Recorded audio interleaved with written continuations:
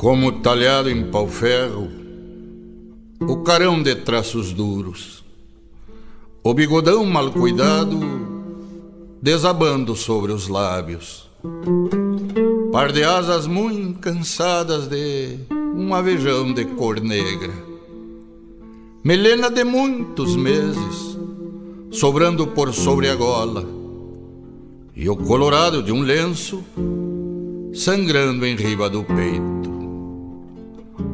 A bombacha de dois panos remangada sobre a bota. Os cravos da espora grande mordendo a franja do pala bem atirado para trás. No fivelão da guaiaca, luzindo em campo de prata o ouro das iniciais.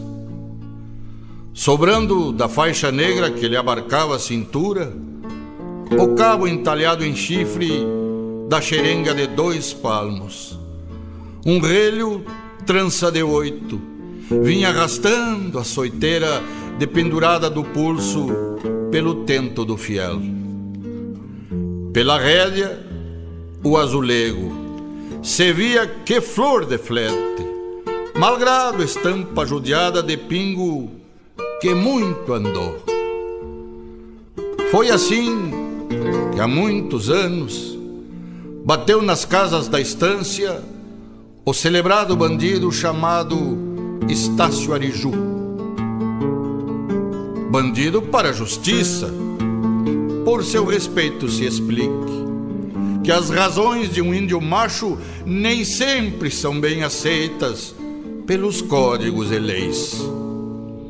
Bandido por ter sangrado igual de raiva e de armas a um cujo que desonrara a mais moça das irmãs. Bandido, porque apertado entre as brigadas e a enchente, já não podendo escapar por debaixo da fumaça, matou um dos quatro praças que lo quiseram carnear. Bandido, porque seguido por milicada sequiosa de uma vingança total, fugiu da estrada real para o mais fundo dos matos, carneando chibos alheios para o churrasco sem sal. Bandido porque enleiado na rudez da ignorância, fez da fuga e da distância seu modo de malviver. Porque quis a sina ingrata que nunca tivesse plata para pagar a um bacharel. Bandido porque não teve a exemplo de tanta gente cancha livre e costas quentes, à sombra de um coronel. E assim viveu como bicho, pelos fundões das fazendas, a carregar a legenda de perigoso e assassino. Chimbo, bagual, teatino, com famas de touro alçado, tragando o duro guisado que lhe picava o destino. Nalgum bulicho de estrada, bolhava a perna cestroso, pelos domingos de tarde, para um cantil de cachaça, meio quilo de bolacha, mais um punhado de sal. Olhava de olhos compridos para o mais das prateleiras, para o bom fumo amarelinho, para os maços de palha buena, para a erva de palmeira num saco sob o balcão. Mas vinha curto seu cobre, mal e mal pras precisão. O bolicheiro era pobre e ele não era ladrão.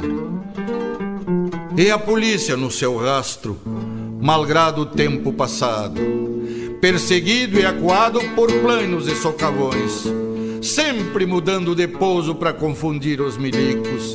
Que em manhas, sim, era rico, por evidentes razões. Cansou-se um dia, afinal, daquela vida de bicho, daquele estranho cambicho com as más volteadas da sorte, de não ter rumo nem norte, não ter descanso ou sossego. E assim bateu cá na estância, naquele entono de taita que manda parar a gaita por ter cansado do baile. E o patrão, velho Boirana, pediu Estácio Ariju que mandasse algum chiru levar ao povo um recado. Que viesse o delegado, que ele afinal resolvera. Ele, o bandido, ele, o maula, trocar o largo dos campos pelo encolhido das jaulas. Nas suas noites de insônia, entre um pelego e as estrelas, conseguira convencer-se que, sendo justa a justiça, lhe entenderiam as razões e lhe dariam, alô muito, poucos anos de condena ou mesmo absolvição.